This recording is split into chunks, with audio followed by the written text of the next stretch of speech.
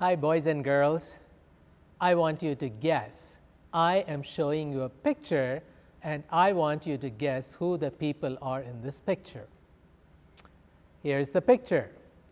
Can you guess who the people on this picture are? Try one, two, three, four, five. Who did you guess they are? You probably can recognize one face on that picture. That's the face of Mrs. Moses. Can you see who that guy is with a head full of hair? Well, that is Pastor Moses.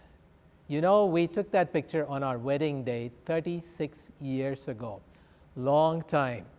Let me show you another picture. What do you think this is? This is a Valentine's Day card.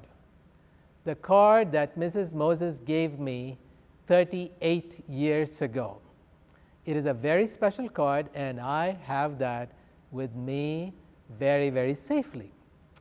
Let me show you one more thing. Can you guess what this is? This is a wedding band. My friend Mr. Nat Cowell shared his wedding band with me and I am showing that to you. So, three, three objects, a picture, a Valentine's card, and a wedding band. What does that tell you? They all tell you one thing. They talk about love and two people's commitment to one another. You know, boys and girls, the Bible teaches us that God values marriage. And so, you know, between Mrs. Moses and myself, Mr. Nat Cowell and his wife Katrina, and a lot of husbands and wives love each other, and they have made a commitment to be together, to be faithful to each other for life.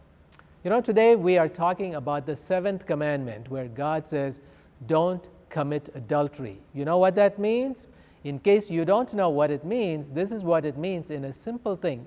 It says that all of us, when we make promises, particularly for those of us who are married, and we make promises to our husbands or wives, we keep our promises. And you can too, boys and girls. It's not just for adults. When you say something to somebody, I wish you would keep your word. You are known as somebody who keeps their promise. So, whenever you see a wedding ring on somebody's finger, maybe your mom or dad or someone else, when you go to a wedding ceremony, when you love wedding food, when you see a Valentine's card, just think about this one word commitment. Commitment.